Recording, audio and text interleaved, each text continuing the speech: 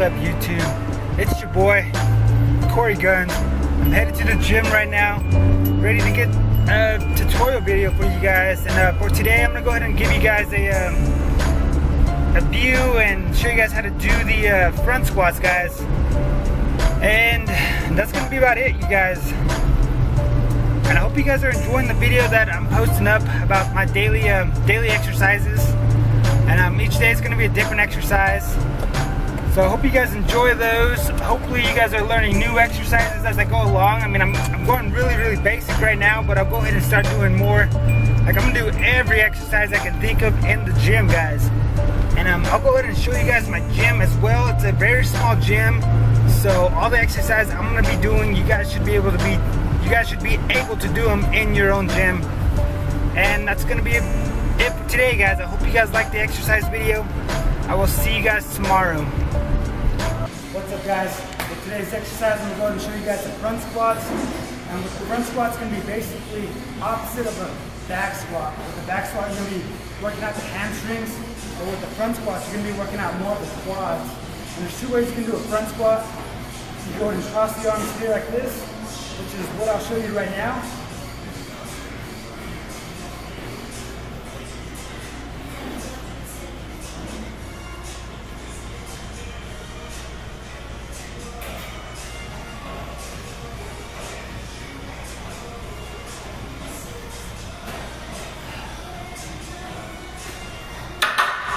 All right, what you want to basically do is make sure you're getting at least parallel, guys. At least parallel, like you're sitting in a chair. Yeah. And with the crossway, you guys, you're gonna feel it more in your abs. You're gonna feel more of the pressure in your abs holding it crossway.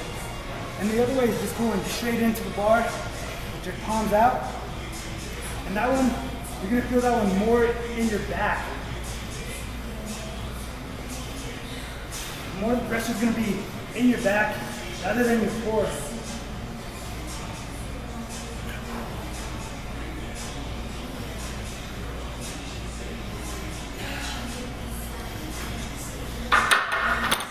So you can go ahead and try either one.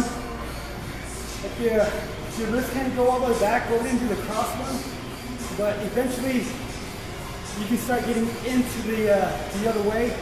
And um, before, it used to give me problems with my wrist going the straight ways. But after a while, I don't know, my wrist just stretched out. And then I'm able to do it the other way.